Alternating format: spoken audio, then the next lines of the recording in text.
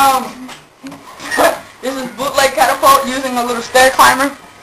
Yes, for my friend Steven. And me. And me. Yeah, me. And And my friend Sorry, Cindy. Using a Nokia 5300. Oh, He's actually gonna throw it. Yeah, pretty much we're just gonna make a catapult with this. Which is my idea. Okay? No. Hold your face That's back. catapult. One, two,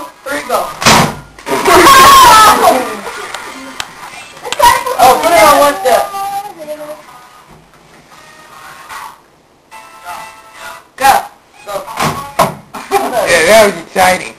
Yeah! No, put it a lot, like, the speed is high. I would just go like that. And when Uh, you okay. I've been hyper When I get hyper, Catapult launch two. Go. What the heck? Look at, um... Let's try Oh, yeah, that's pretty much it. It's still perfectly capable of doing whatever it does. Try to do this with your knees. Hyper,